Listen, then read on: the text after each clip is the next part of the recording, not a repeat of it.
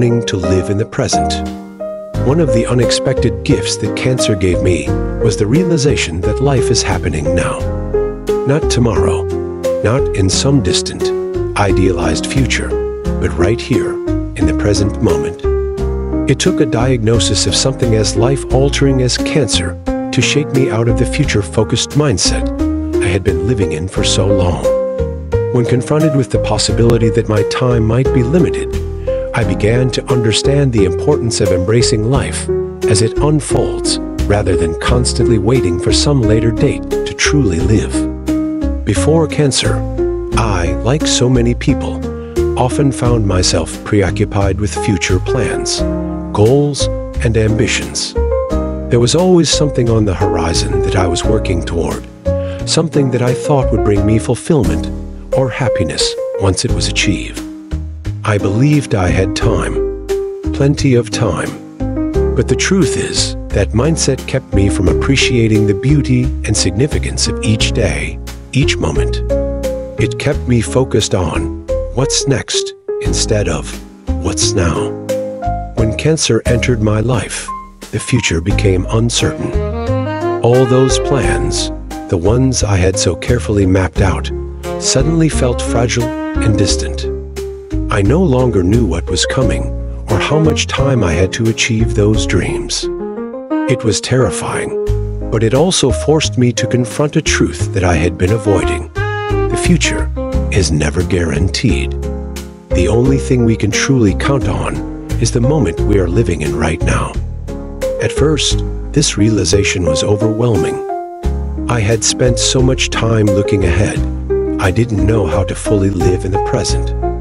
But as I progressed through my treatment, something began to shift. I started to see the value in the small, everyday moments that I had once taken for granted.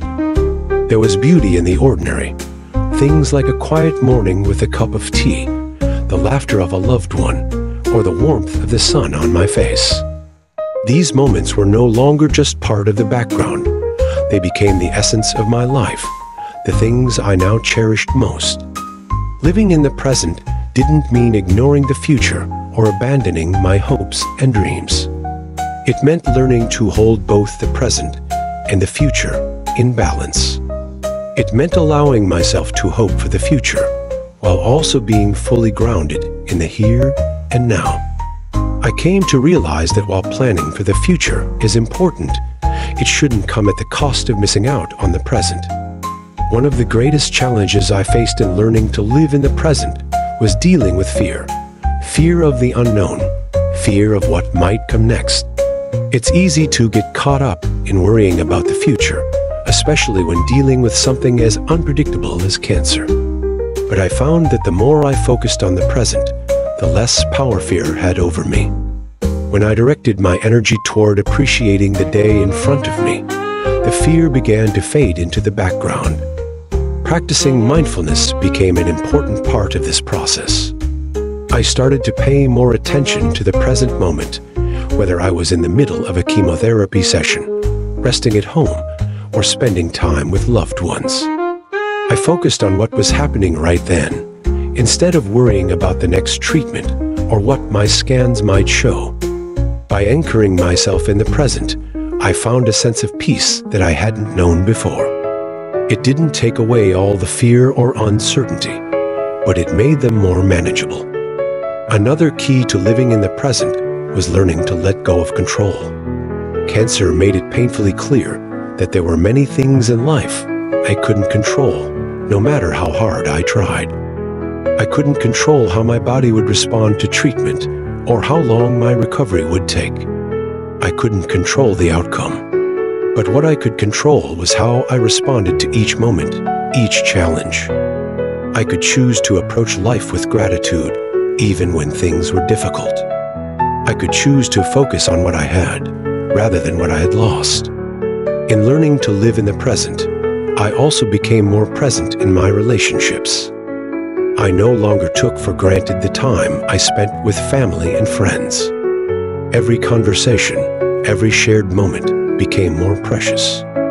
I stopped rushing through life, always looking ahead to the next thing, and started savoring the time I had with the people I loved.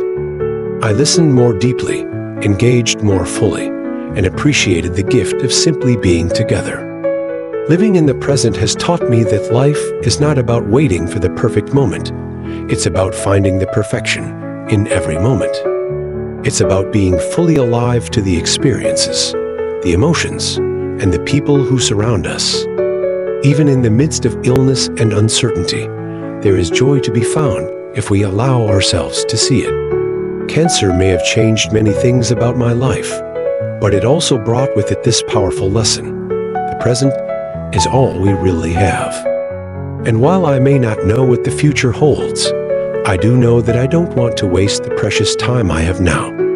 By embracing the present, I've learned to live more fully, more deeply, and with a greater sense of peace and gratitude. In the end, learning to live in the present has not only helped me navigate the challenges of cancer, it has transformed the way I experience life itself. I no longer need to wait for some future event to find happiness or fulfillment. It's here, in the quiet moments of today, where life's greatest gifts can be found. And that realization has been one of the most profound changes in my journey.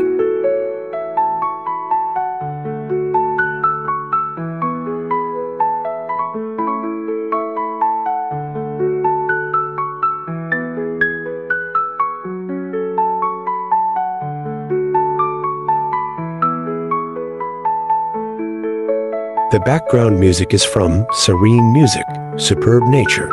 You can find it at my YouTube channel.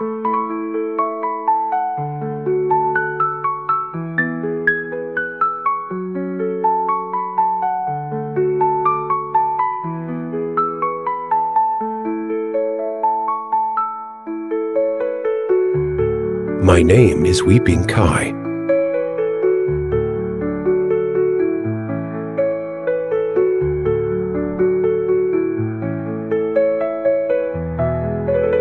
Thanks for watching.